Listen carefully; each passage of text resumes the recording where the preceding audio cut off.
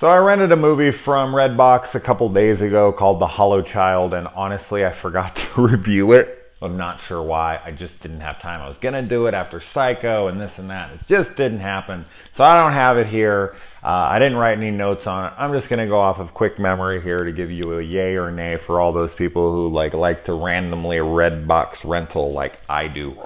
Um, I thought, you know, overall, it's not a film I would exactly recommend. I definitely didn't think it was terrible by any means. I thought it was pretty good actually for um, as low budget as it was.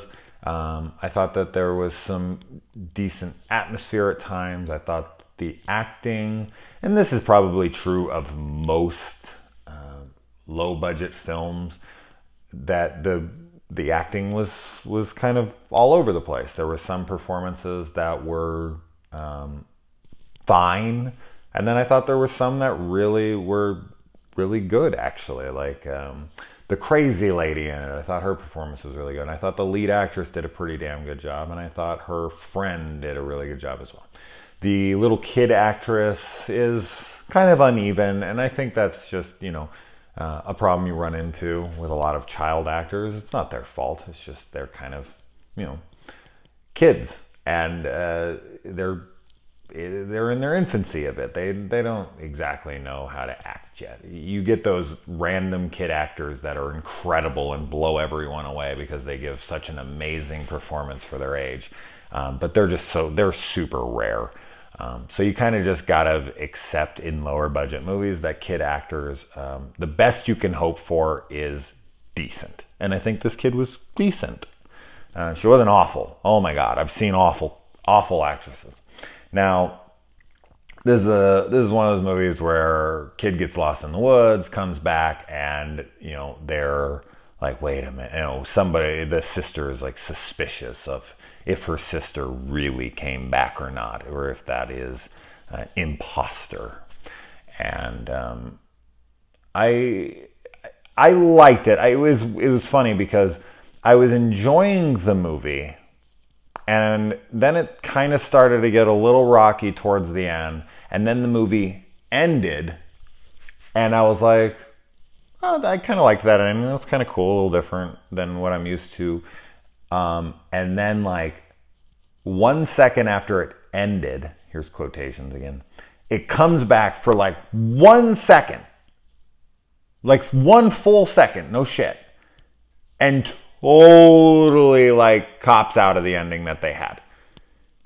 And it just irked the fuck out of me. I know that's like a spoiler, but it's so like I don't know, it really irritated the shit out of me.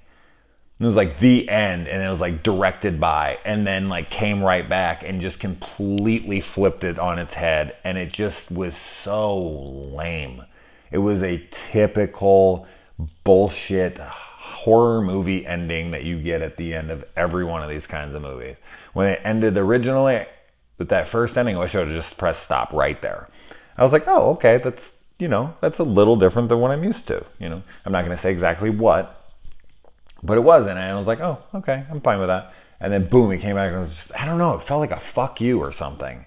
And it irritated me. So that really knocked the movie down for me, like a couple points. This is the whole reason of me even mentioning it, because that that one second double ending kind of pissed me off a little bit.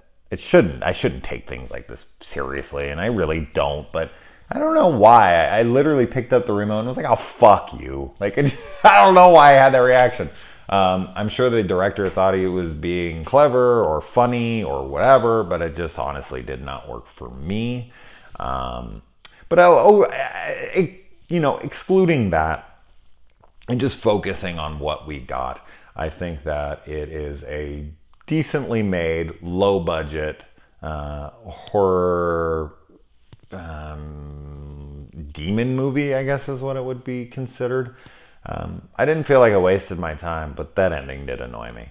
Outside of that, if you're into demon movies and you like uh, lower budget stuff and, and you can look past some rocky acting here and there, I'd check it out. It's, it's, it's not a bad watch.